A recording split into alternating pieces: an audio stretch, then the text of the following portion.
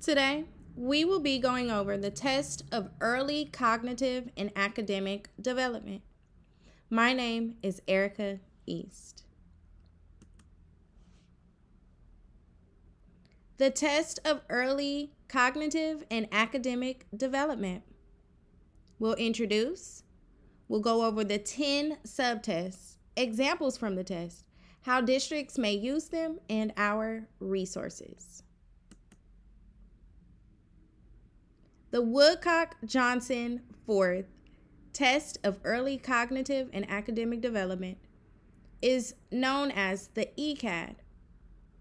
The ECAD is co-normed with the WJ the fourth batteries, achievement, cognitive, and oral language. The test was released in 2015. ECAD measures general intellectual ability, early academic skills, and oral expression in all children aged 2 years 6 months through 7 years 11 months, and children with cognitive development delays through age 9 11 months. The kit includes one manual, a student booklet, an easel, and a CD ROM. The test is engaging with young learners in mind. It is made up of 10 subtests. Test 1 Memory for names. Test 2 Sound blending. Test 3 Picture vocabulary. Test 4 Verbal analogies. Test 5 Visual closure. Test 6 Sentence repetition. Test 7 Rapid picture naming. Test 8, letter word identification. Test 9, number sense. Test 10, writing. A typical administration requires 5 to 10 minutes per subtest. The ECAD was developed in response to a need for a dedicated single easel battery to measure both cognitive abilities and academic skills.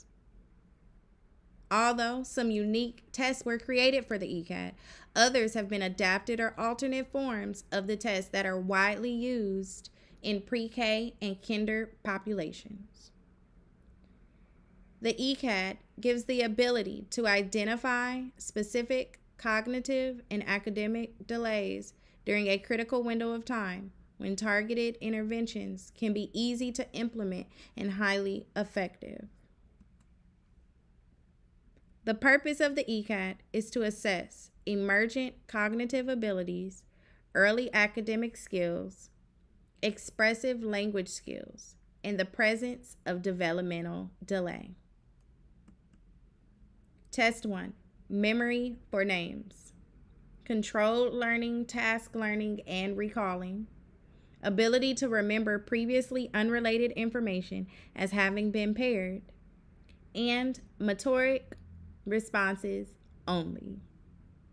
This means the student will only point to respond. Here is an example. You would say, I am going to show you an animal and tell you its name. Then I will show you a page with more animals. Remember to point every time I tell you a name. This is a zebra. Point to the zebra. The student will then place their finger on the zebra. You would then show them this page. Again, you will prompt the child to point to the zebra. The child would then point to only the zebra. Test 2 sound blending. The ability to blend phonemes and syllables together. Oral response is required. Example I am going to say a word, one part at a time. Then you tell me the words that I said. you would pronounce the word flower. Er. The child would then respond, flower. Another example is dad, D. The child will then respond, daddy. Test 3 Picture vocabulary. The ability to identify pictured objects. Word knowledge and correct word meanings. Oral response is required. Point to the picture on the page and say, This is a picture of a car. Point to the car. The child will then point to the car. Say car. They will then say car. Test 4 Verbal analogies the ability to comprehend and complete logical word relationship.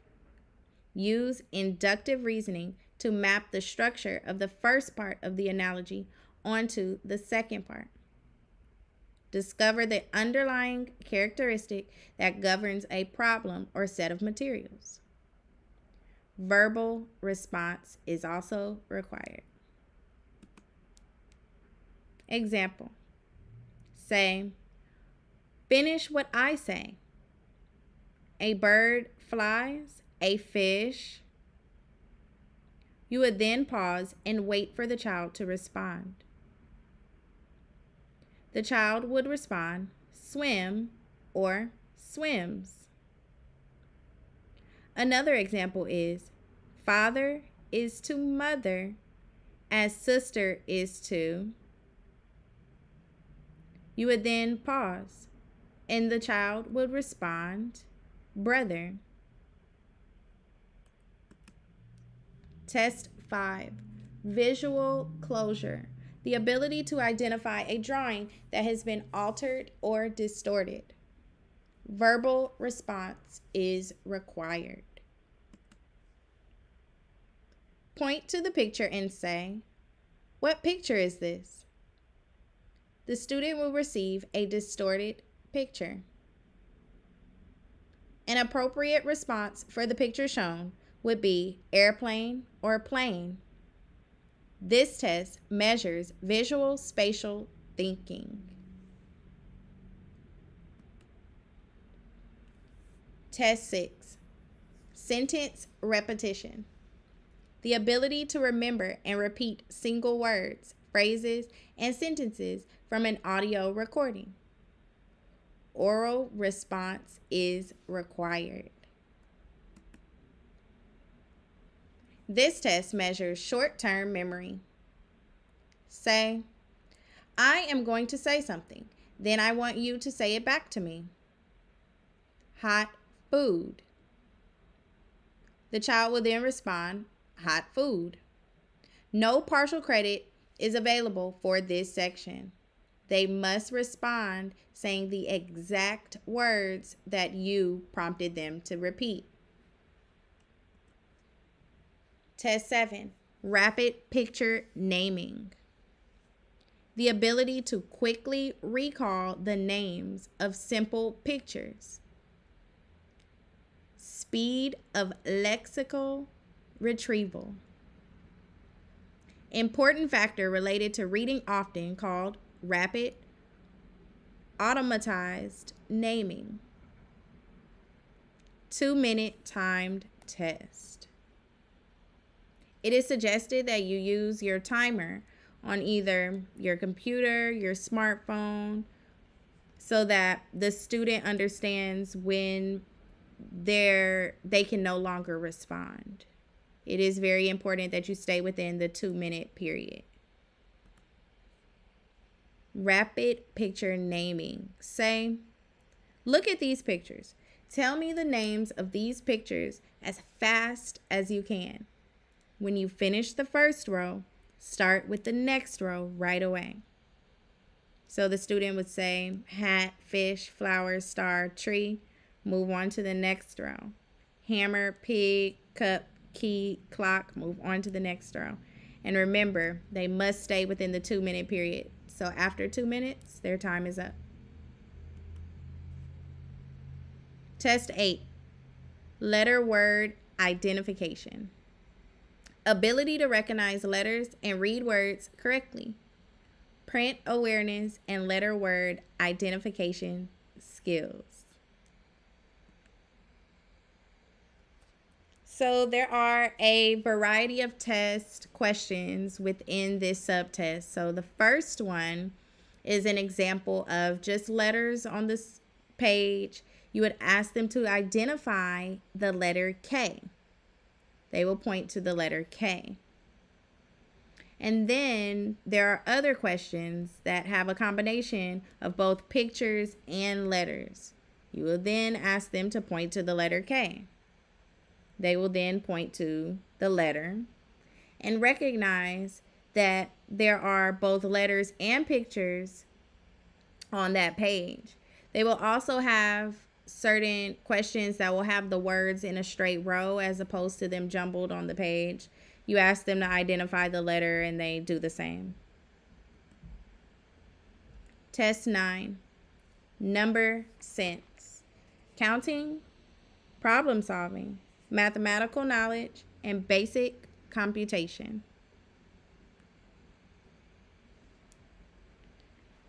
There are a variety of number sense questions, but here are a few examples.